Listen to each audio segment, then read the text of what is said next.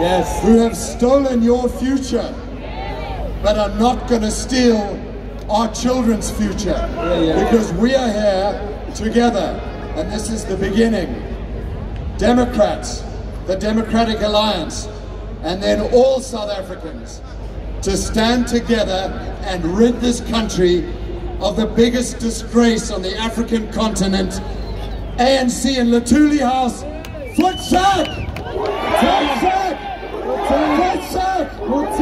And I'm saying to you, Cyril Ramaphosa, you're a disgrace.